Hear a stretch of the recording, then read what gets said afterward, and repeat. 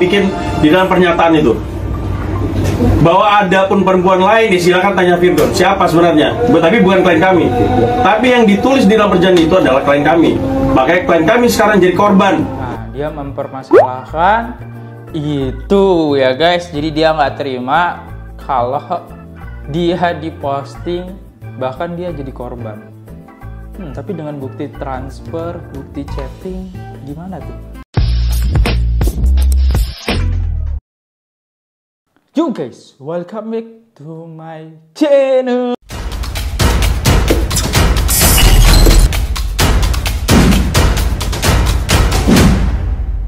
Oke teman-teman, jadi kali ini gua pengen nge-reaction yang lagi viral lagi, yang di mana ada eh, dari perselingkuhan Virgon ternyata masih berlanjut. Si Tante Inah yang di mana disepil videonya sama si eh, Tante Anissa disepil sama si istrinya Virgon Inaka ya kalau nggak salah Tante Ina ya. Si Ina kok Tante terus. Oke, di sini ada video yang bakal gua jelasin sedikit kenapa muncul kok korban malah dilaporin ya. Hmm, aneh ya. Tapi gue juga belum nonton klarifikasi kenapa si korban si tante Ina ini ngelaporin istrinya Virgon. Oke, oke, langsung aja kita mulai videonya buat teman-teman nih yang baru mampir ke channelnya jangan lupa guys diklik tombol subscribe. Ketika kalian nggak klik tombol subscribe, kalian mensupport channel ini untuk upload sekali setiap hari dan kalian bisa langsung aja ikutan giveaway. Linknya ada di deskripsi. Langsung kita mulai videonya. Ya, video pertama gue mau ngingetin dulu kenapa si Anissa ya, si, si tante Anissa ini ngelaporin si Inah karena si Inaka ini itu buat story seperti ini guys. Kita lihat story. pun kembali membuat story di Instagram yang lagi-lagi pernyataannya membuat warganet kaget bukan main. Nah, kayak gini ya. Ia menulis andaikan ia diperlakukan oleh suami selayaknya istri dan selayaknya manusia. Dia di, Banyak Dia dukungan dan mensepil, guys. kepedulian ditunjukkan kepada Inara terlihat dari storynya. Ternyata selama tuh Mommy Starla sepil foto-foto tante Anissa ya.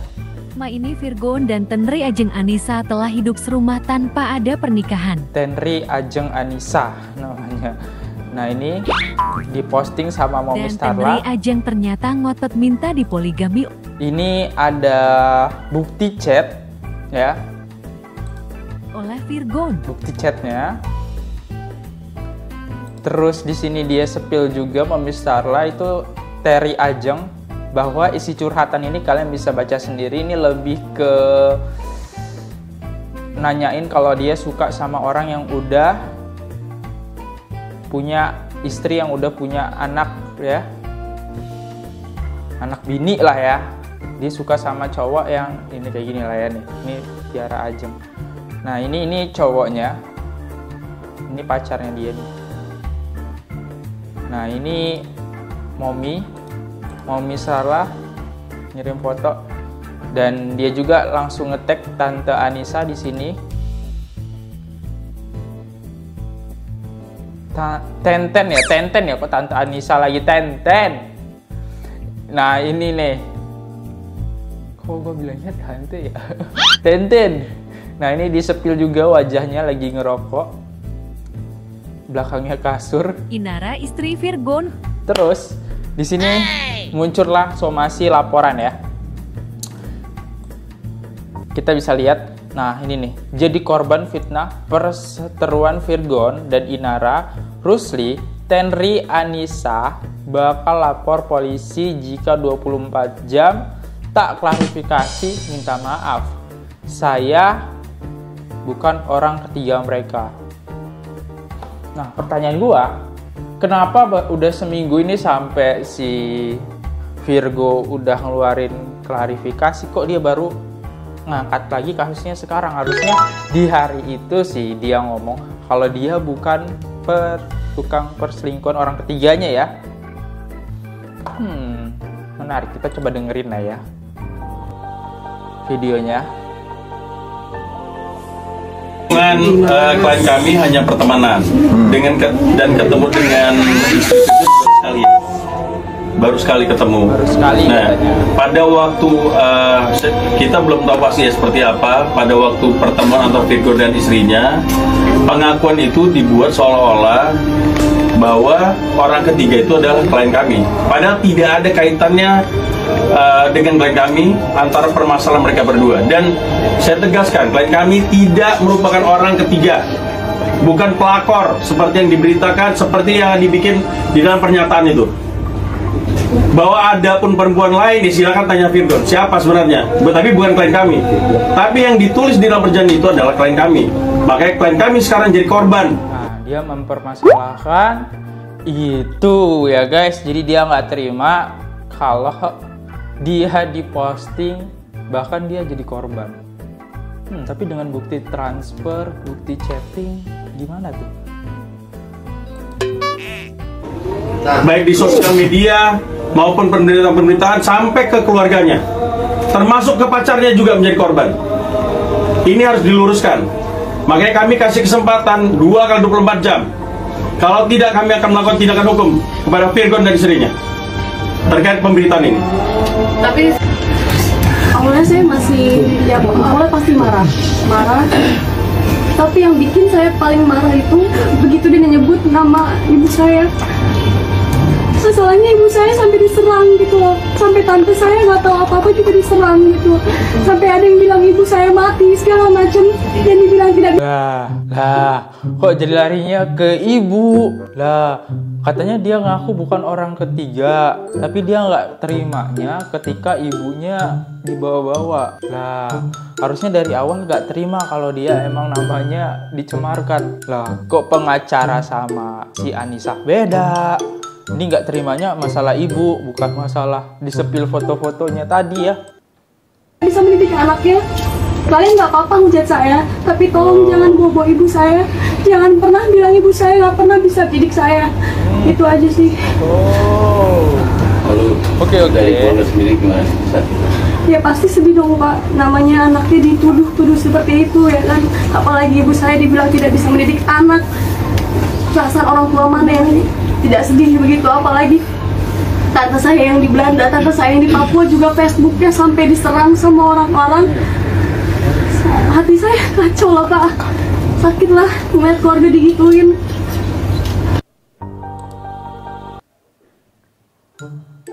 Hmm. Oke okay. jadi pengacara dengan kliennya beda. Intinya entah ini kurang briefing apa kayak gimana hmm, tapi kita nonton klarifikasi awal udah beda pendapat nih jadi Anissa ngelapor itu lebih ke arah dia nggak terima ketika orang tuanya diejek-ejek sama netizen ya oke okay, next Maaf ke siapa? Harus jelas. Pengacara Tenri Anissa marah cara klarifikasi Virgo tidak jelas minta maaf ke siapa? Oke, jadi uh, diklarifikasi kalau nggak salah di menit ke tiga apa keempat gitu, itu dia ngomong minta maaf atas tuduhan-tuduhan yang orang-orang yang kesangkut oleh istrinya. Ya emang nggak disebutin sih namanya sih, tapi dipakai sama pengacara ini. Oke, kita dengerin ya pendapat dari Loh. ininya. Ke siapa minta maafnya? ini mohon maaf kuasa hukum menyampaikan bahwa dengan kerendahan hati kliennya sudah meminta maaf. Meminta maaf ke siapa? Jelas dong. Siapa yang dilukai di sini? Urusan rumah tangga dia, urusan rumah dia dia. Jangan bawa, -bawa orang lain. Tadi berarti berasa klarifikasi Virgon belum bisa membersihkan nama kamu ya dari masalah ini ya? Oh iya iya iya ini nih. Pokoknya klarifikasi Virgon kayaknya bukan di tiga menit deh. Gue inget. Karena video Virgon cuma 5 menit. Di awal-awal video dia udah minta maaf dulu. 3 detik kalau nggak salah ya. Tidak ada sebutkan namanya. Gue lupa guys. Harus jelas dong. Dengan siapa Emang dia berbuat?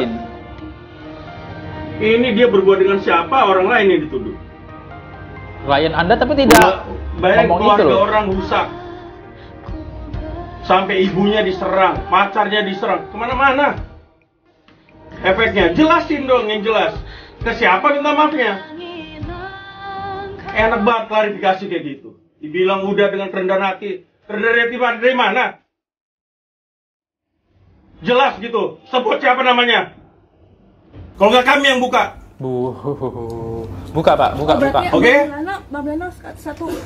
berarti Bang Milan sendiri udah tahu siapa orang yang memang sebenarnya selingkuh. Udah nanti kita lihat nanti proses hukumnya seperti Widih. apa. Pokoknya clear. Kasih saya kasih waktu dua kali Nah, pengacaranya kayak gini ya, ngelirik kanan kiri ya, bingung ya. 24 jam. Kalau enggak kita bawa ke ranah hukum. Oh, tadi katanya dibongkar, Maaf ke siapa? sekarang kerana hukum. Lantur banget dong ya. Oke, oke. Next. Hubungan Ente Anissa Somasi Virgon dan istri. Oke, dari sisi kamera lain ya, pengacara lain. Jadi beberapa reaction ini gue nge-reaction ya yang muncul-muncul di FYP TikTok gue. Ya yang pasti kalau muncul di FYP TikTok gue itu omongan yang sangat penting diambil sama netizen. Oke, kita dengerin lagi ya. Hubungan eh, klien kami hanya pertemanan dengan ke- dan ketemu dengan istri itu dua sekali ya. Baru sekali ketemu. Terus sekali Nah, pada waktu se- kita belum tahu pasti ya seperti apa. Pada waktu pertemuan antara Virgo dan istrinya, pengakuan itu dibuat seolah-olah bahwa orang ketiga itu adalah klien kami. Padahal tidak ada kaitannya Ya. eh, dengan klien kami antara permasalahan mereka berdua. Dan saya tegaskan, klien kami tidak merupakan orang ketiga, bukan pelakor seperti yang diberitakan, seperti yang dibikin di dalam pernyataan itu. Iya, story-nya sih. bahwa nah, ada ya. pun perempuan lain ya silakan tanya Virgon siapa sebenarnya? Be- tapi bukan klien kami. Tapi yang ditulis di dalam perjanjian itu adalah klien kami. Iya. makanya klien kami sekarang jadi korban. Oh. baik di sosial media maupun pemberitaan-pemberitaan sampai ke keluarganya. Termasuk ke pacarnya juga menjadi korban. Ini harus diluruskan makanya kami kasih kesempatan 2 kali 24 jam kalau tidak kami akan melakukan tindakan hukum kepada Virgon dan istrinya Tadi dibongkar. Hubungan- Tadi dibongkar ya. dari video sisi kameramen yang lain ya. Tapi satu hal sih yang gue bingung dari aplikasi ini. Kenapa ya ketika dia dituduh di awal dia malah menghapus akun dia dan dia nggak speak up tentang soal ini aturan langsung aja speak up bahwa bukan dia orang ketiga clear semua masalahnya. Tapi udah seminggu kasusnya udah mulai reda. Dia coba naik lagi. Apa dia pengen diundang ke TV next.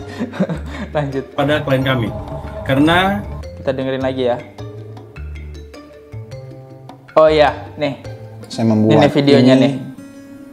sebagai upaya saya Di- pada waktunya nanti oh, anak-anak. detik 42 saya bisa melihat pertanggungjawaban saya atas segala kesalahan yang telah saya perbuat.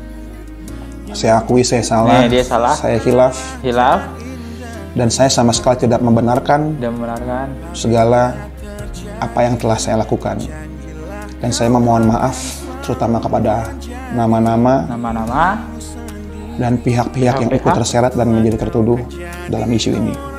Pokoknya kalimat ini yang jadi poin pengacara nggak terima karena tidak sepil namanya. Hihi, Kalau disepil sih seru lagi sih. Berlanjut nih kasus kasusnya. Next. Tentri Ajeng Anissa hari ini memberikan somasi terbuka Oh, kepada somasi ya. Virgon dan istrinya Ina Idola Rusli Wow. terkait dengan pemberitaan yang tidak benar selama ini yang beredar yang sebenarnya pelakunya adalah Virgon. Ah, Memang yang menyebarkan adalah istrinya, Iya. namun kontennya sendiri itu adalah karena ada pernyataan eh, perja- apa semacam eh, surat pernyataan yang dibuat oleh Virgon di mana menyatut nama klien kami.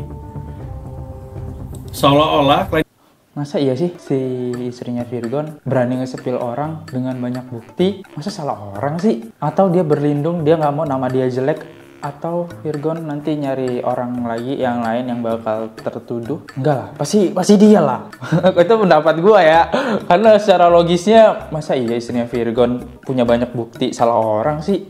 Oke, lanjut lanjut. kami ini adalah pelakor atau adalah pihak ketiga keretakan atau permasalahan rumah tangganya. Makanya hari ini kita menyampaikan bahwa kita melakukan somasi terbuka dan termasuk akan dikirim juga hari ini juga per hari ini juga kepada mereka berdua untuk segera melakukan klarifikasi dan permohonan maaf kepada klien kami. Karena di sini klien kami menjadi korban akibat perseteruan antara suami istri ini, tapi klien kami yang dibawa. Hanya itu. Hmm, oke, ini dari sisi kamera lain lagi ya.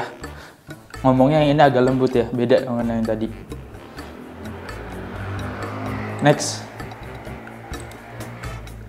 bahkan saya Oh, ini sekarang klarifikasi dari pacarnya Virgo. Eh, pacarnya Terry Anissa ya, bukan tante ya, Terry ya. Mirip-mirip sih kamu Terry sama tante. Pria yang mengaku pengat pacar Terry Anissa ikut membantah perselingkuhan. Hmm, coba, coba, coba ngomong-ngomong. Oke, kita dengerin ya teman-teman. Ini penasaran banget nih. bisa dibilang saya udah nggak keluar dari sejak dari sejak, Sejak kapan? berita ini keluar sampai ketemu keluarga-keluarga yang masih deket pun sebenarnya saya malu sih ini karena tuduhan-tuduhan fitnah ini semua Iya, jadi bukan cuma Terus? saya aja gitu Pasti. Bahkan sampai keluarga besar pun kena itu semua kena bahkan teman-teman saya juga pasti. Mas bisa kenalin dulu mas siapa mas Nah, saya nama saya Dylan. Sebagai? Sebagai pacarnya Tenri. Oh iya. Eh, eh, pacaran sama Chandra sejak kapan? Sudah dari Desember tahun? 2022 artinya saat 2021 belum ada Belum. Ada belum Belum ada. 2021 kan? Artinya belum pacaran dengan siapa pun. Oh, saya sama mantan saya pada saat itu. Saya punya pacar waktu itu. Waktu ada isu ini sempat nanya nggak kebenarannya Oh ya pasti dong. Untuk mengkonfirmasi aja walaupun saya cukup yakin bu nggak ada kayak begitu. Karena dia juga kalau misalkan ada apa pun itu pasti dia juga pasti bilang ke saya. yang bikin kamu yakin? Ya, kalau selingkuh bilang itu namanya bukan selingkuh bro. Ya? Ya anda pacarnya kan? Kalau selingkuh bilang itu bukan selingkuh bro karena percaya saja. Memang ada Modal percaya, bro. kalau misalkan ternyata enggak. Cuma kan itu nggak bisa diekspos ke sini ya. modal percaya bro eh dan Oke, apa lagi?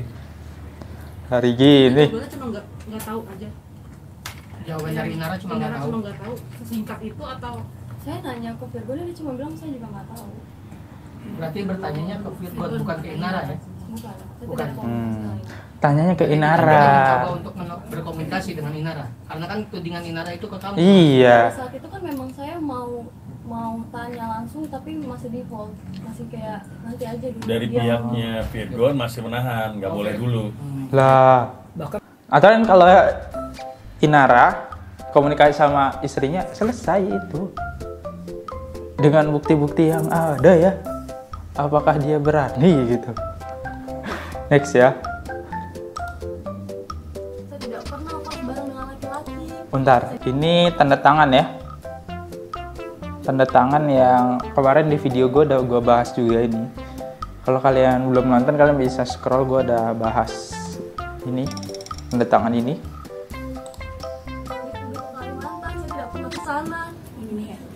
oh di sini membantah ya mas oke selanjutnya apa akan melaporkan ke polisi? Iya, intinya kita kasih kesempatan kita hari ini eh, somasi terbuka dan kirim juga somasi ke kedua pihak itu untuk segera menanggapinya dalam dua hari. kasusnya berkepanjangan nih Kalau tidak kita akan lakukan, lakukan upaya hukum langsung. Perasaanmu gimana kan ketika saat itu dikasih bom bom? awalnya saya masih ya awalnya pasti marah marah tapi yang bikin saya paling marah itu begitu dia nyebut nama ibu nah jadi ibu lagi ya Oke ya, inilah video-video dari klarifikasi ya. Ya, gue sendiri, gue lebih bisa dibilang gue nge-reaction sebagai netizen ya. Netizen juga ya. Jadi ya setiap video yang gue reaction gue jadi netizen ya. Ya atas yang gue tahu beritanya kayak gitu, apa yang gue tahu ya. Jadi itulah yang gue pengen. Tapi ya nggak masuk akal gitu. Kenapa anda baru muncul sekarang gitu? Sedangkan kasus ini udah mulai meredah, udah mulai hilang dari peradaban. Anda muncul lagi. Ah, dan ya intinya sih kalau pengacara bilang si Terry itu nggak terima karena namanya tertuduh pada saat ngomong sama si Terry Adisa dia nggak terimanya karena orang tuanya sampai dibawa-bawa. Ya, itulah kalau anaknya jelek ya pasti orang tuanya terbawa-bawa sih. Gitu. Oke, gimana guys tentang klarifikasi ini? Oh iya, ada video ini dari Vir- itu sedikit ya dari Virgon nggak ada tanggapan apa apa emang dia ini selalu hilang aja gitu heran gue dan dari Mommy Starla sendiri ada story pagi ini kan gue ngereaction ini pagi guys dan dia buat story ini guys. Nah jadi di sini dia buat story di mana dia bilang yang kemarin kirim SS status FB dan lain-lain.